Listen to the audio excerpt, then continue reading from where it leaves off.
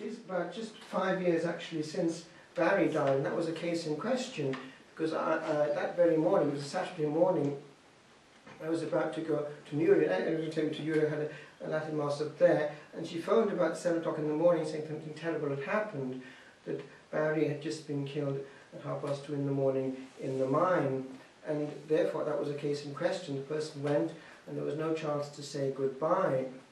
But there, I'll just leave you with this, which I wrote then after I heard that news, because it does make you think about how fragile life is, and how, for some people, everything is devastated in one moment of time. That one moment of time can mean not only orientation of eternity, but also of the whole life of a person left behind.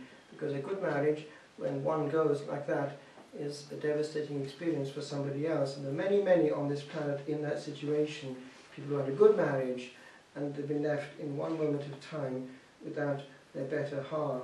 So appreciate your partner, appreciate your friend, appreciate your time, and remember, death sometimes comes uninvited. So I'll just finish now with this. So it was written after Barry's sudden departure. Goodbye, Barry.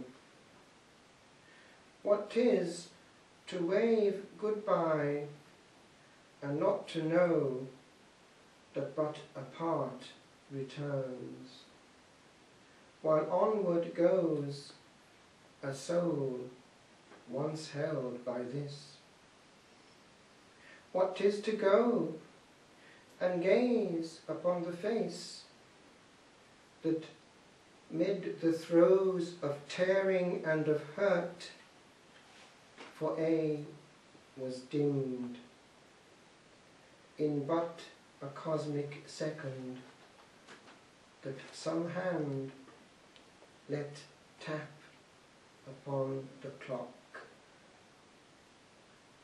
that history trimmed in this its heavy clipping. Tis to stand alone upon the shore of this wide world with more than half ere lost.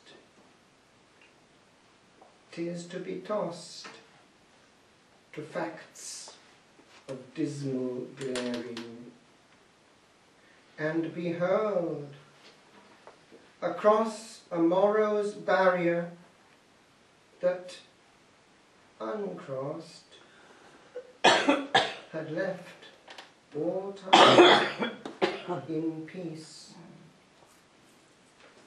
Tis, friend, to cease, to be again, for pain knows no release.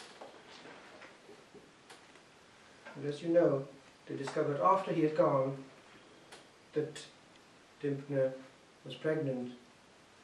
And little Barry never saw Big Barry. Maybe one day they'll meet on the